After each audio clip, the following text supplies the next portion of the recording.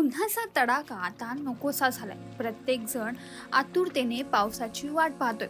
पण तुम्हाला मी जर आता असं म्हटलं की असे आपल्या भारतात अनेक प्रदेश आहेत जिथे बाराही महिने पाऊस पडतो तर?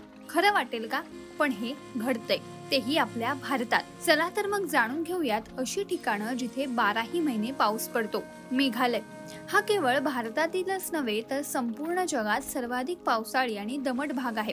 येथे सुमारे अकरा हजार आठशे एकाहत्तर मिलीमीटर पाऊस पडतो. छत्रीशिवाय तुम्ही इथे घर सोडूच शकत नाही. नाहीतर तुम्ही संपूर्ण भिजून जाल. बंगालच्या उपसागरामुळे येथे भरपूर आर्द्रता आहे आणि चौदाशे एक्क्याण्णव मीटर उंची असलेल्या खासी टेकड्यांमुळे ही आर्द्रता अधिक होते. सगळ्यात उत्तम गोष्ट म्हणजे इथे भरपूर हिरवळ आहे. मात्र अतिवृष्टीमुळे सूर्य क्वचितच दिसतो आणि काही वेळा वीज पुरवठाही खंडित होतो. अशा वेळी जर तुम्हाला पावसाचा आनंद घ्यायचा असेल तर शहरातील व्यस्त जीवनापासून दूर जायचं असेल तर येथे नक्की जा. चेरापुंजी. पावसाच्या बाबतीत जगात दुसऱ्या क्रमांकावर चेरापुंजी आहे. चेरापुंजी शिलाँगपासून अठ्ठावन्न किलोमीटर अंतरावर आहे. चेरापुंजी म्हणजे संत्र्याची भूमी. रात्री येथे अनेकदा पाऊस पडतो. हे ठिकाण त्याच्या पुलांसाठीही ओळखलं जातं. अगुंबे. कर्नाटकच्या या छोट्याशा शहरात दरवर्षी अंदाजे सात हजार सहाशे एक्क्याण्णव मिलीमीटर पाऊस पडतो. इथे सर्वत्र हिरवाईची चादर असते. येथील सरासरी तापमान हे तेवीस पूर्णांक पाच अंश सेल्सिअस आहे. जर तुम्हाला येथील सुंदर दृश्यांचा आनंद घ्यायचा असेल तर नोव्हेंबर ते जानेवारी दरम्यान येथे जा.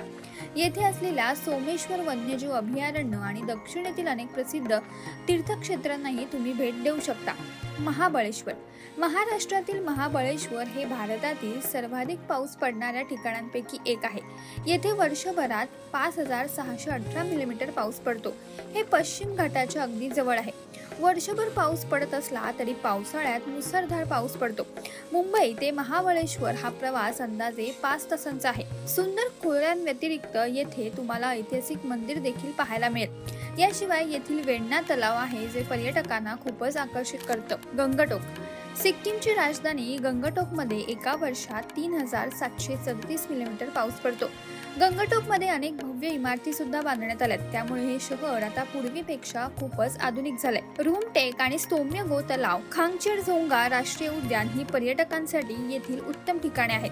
गंगटोकला भेट देण्यासाठी पावसाळा हा सर्वात बेस्ट काळ आहे. तर मग तुम्ही आता फॅमिलीसोबत कुठे जाण्याचा प्लॅन करत आहात हे आम्हाला नक्की कमेंट करून कळवा.